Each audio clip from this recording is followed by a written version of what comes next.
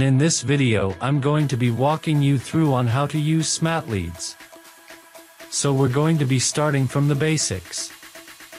First, how to set up your Google Business API so you can be able to use Find Google Leads. So you go to Settings. Click on Report Info to customize your report. Enter your name or your business name or agency name, your email, phone number, your website, upload your logo, enter your address and you add the footer. You click Update. You can see that mine is already updated. So after that, you go to the next one, the email settings. This is where you set up your autoresponder. So this is where you enter your SMTP details. In my case, I'm using my own domain name. If you have a domain name, you can actually use it as an SMTP details. I will advise you use a newly purchased domain that hasn't been blacklisted. You start by created a webmail from the domain, use the domain as the host, the email as the username, the email password as the password, and 587 as the port. The enter your name as the sender name and the email address as the sender email and click update.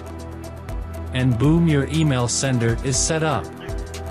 The next thing is to set up your Google Business API to be able to search leads from Google Maps places. This doesn't stop you from getting leads from Bing and Business Database. Insert the API here, and click Update. Now let's move to lead search. You have three options.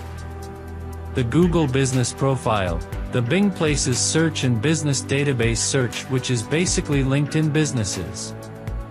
For the purpose of this demo, we will be using GBP Lead Search. Click on it, select your industry, say gym. Enter a keyword, say fitness, choose a location. In my case I want to search for New York. So as you're typing, it is bringing options. You set your radius. Click search and wait a few seconds for it to return amazing pre-qualified leads to you. Our leads are here. See the email address, see the phone number, see their website, see the address, see how many number of pictures they have. See the number of reviews they have. You see the number pretty good businesses that we pulled up. So you have a variety of options to contact them.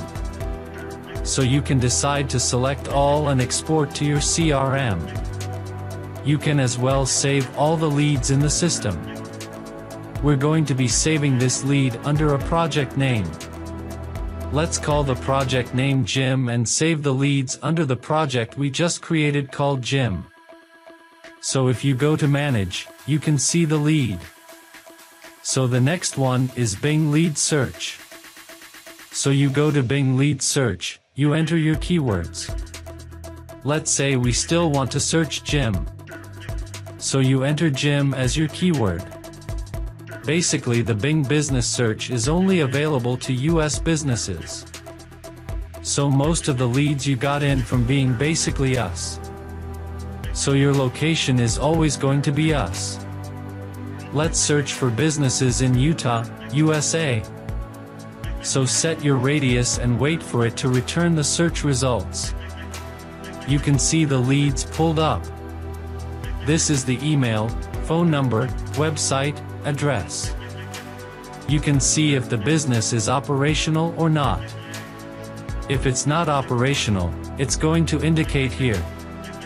You can select all and save or export as PDF or CSV to CRM. So for business database, we also do the same.